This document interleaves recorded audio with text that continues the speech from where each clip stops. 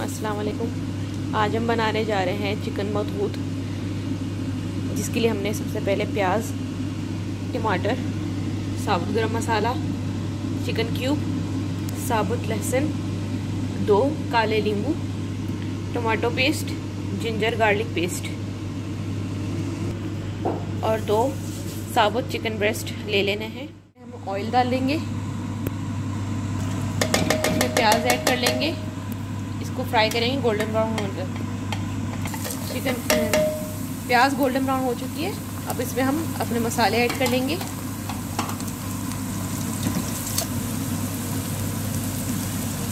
अदरक का पेस्ट और लहसुन का पेस्ट ऐड कर लेंगे। अच्छी तरह से फ्राई कर लेंगे। अब इसमें हम चिकन ब्रेस्ट ऐड कर लेंगे।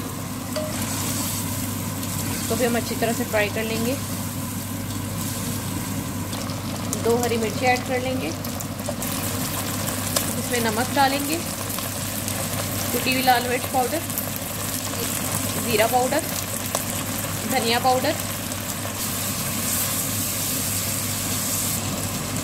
इसमें टमाटर ऐड कर लेंगे। अब इसमें टमाटर पेस्ट ऐड कर लेंगे। टेबल स्पून तकरीबन अच्छी तरह से मिक्स कर लेंगे।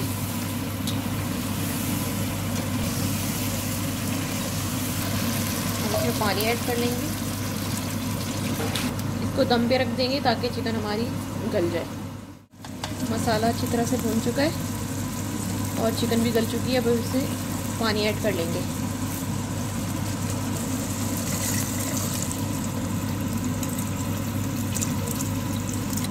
इसको अच्छी तरह से बॉईल करेंगे, फिर इसमें चावल ऐड कर लेंगे। बन चुका है।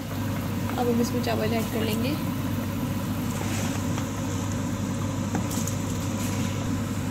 तो अच्छी तरह से बॉईल करेंगे। पानी खुशक होने पे दम कर देंगे। चटनी बनाने के लिए हमने सबसे पहले टमाटर, प्याज, अदरक, लहसुन का पेस्ट हरा धनिया, पुदीना और नमक लाल मिर्च पाउडर कुटी हुई लाल मिर्चें ये ऐड कर लिया और साबुत ए, साबुत ज़ीरा लेमन जूस और थोड़ा सा ऑलिव ऑयल डाल लिया इसमें। अब हम इसको हैंड ब्लेंड कर लेंगे। और हरी मिर्ची भी ऐड कर चावल तैयार हो गए। अब हम इसको सर्व कर लेंगे।